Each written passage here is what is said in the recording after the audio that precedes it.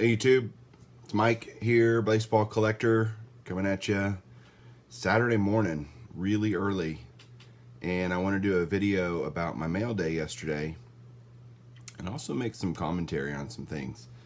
I have uh, been thinking about some things lately and thought I'd share it with you. The first of all is, I don't know if you've noticed, but my eBay purchases are taking forever to get to me.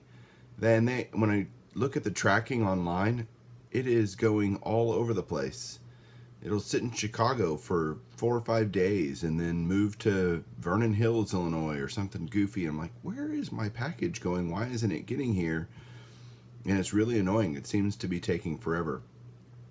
Um, now I'm going to show my mail day and then I'll make my other commentary. But first, before I do that, Texas Rangers, Ray from Philly, Rangers on a 10 game winning streak after beating Detroit last night, swept the Phillies, the A's, and took three out of four from the Padres.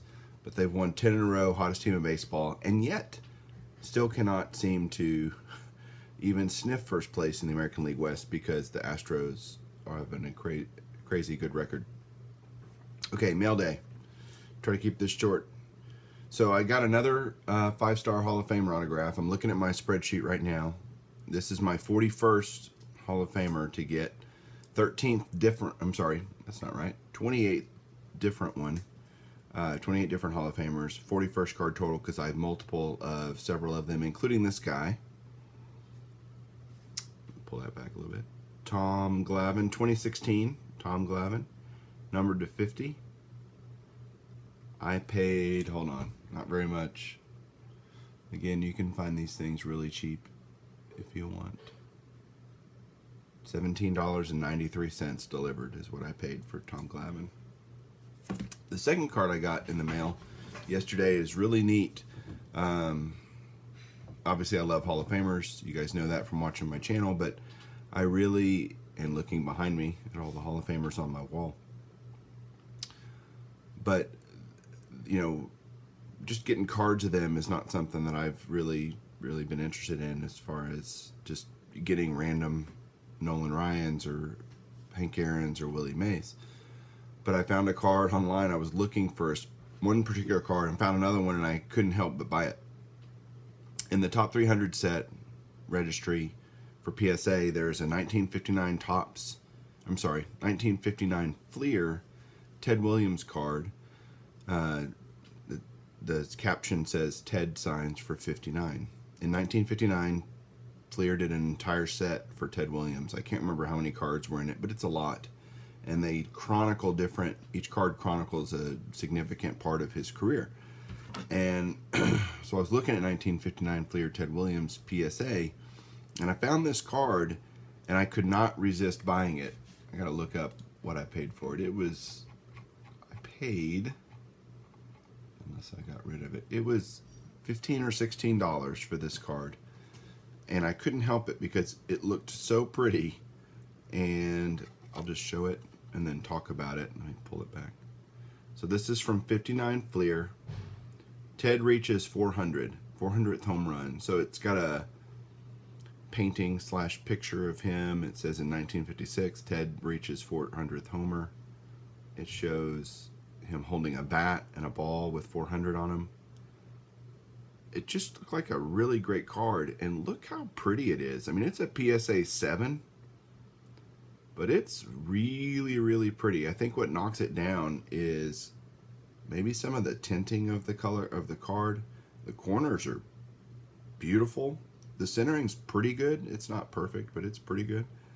And overall, I just, I was like, God, that's a cool moment from Hank, uh, Ted Williams' career. And from a neat little set. So I bought it. Again, really random because it doesn't really fit in my collection. It doesn't part belong to any set registry. It doesn't uh, it's not an autograph or anything like that. But I just I just needed to have it. That's kind of how this hobby goes sometimes. Which leads me to my last comment of the day, and I'll let you guys go.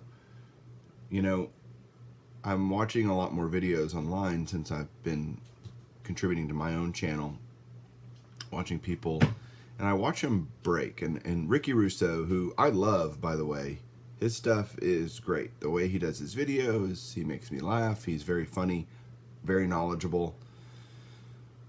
Watch him break stuff over and over. He's breaking box after box every day of everything you can imagine football, basketball, uh, baseball, every kind of product.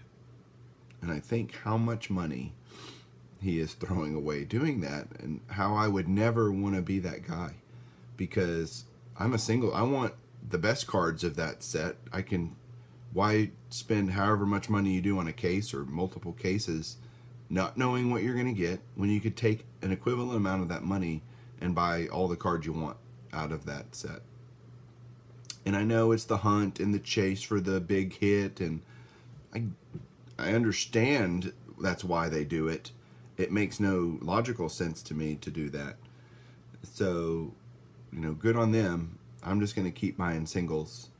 And I again, I also don't understand the whole prospecting thing and why people are spending gobs of money on players that have never done anything in their career when they could go out and buy for the same amount of money a dozen Hall of Famer autographs. Somebody who has done something in their career, has established themselves, proven themselves, and you could get a player that, again, once you're a Hall of Famer, you're always Hall of Famer. Prospects are, you know, totally hit and miss. You just have no idea who's going to really be good. And it just seems like a total waste of money to me. But that's why this hobby is great. Everybody can collect what they like to collect who am I to judge them? Knock yourself out. It actually it makes it better because it's just less competition for me on the things that I want to collect.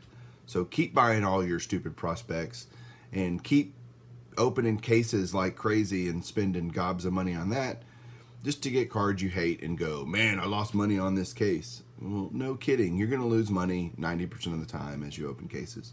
So keep doing it. Thank you because it just puts more singles out on the market for me to buy. Thank you very much. Uh, that's my commentary. I'm done today. I hope everybody has a great weekend, enjoys your Saturday, and keep collecting.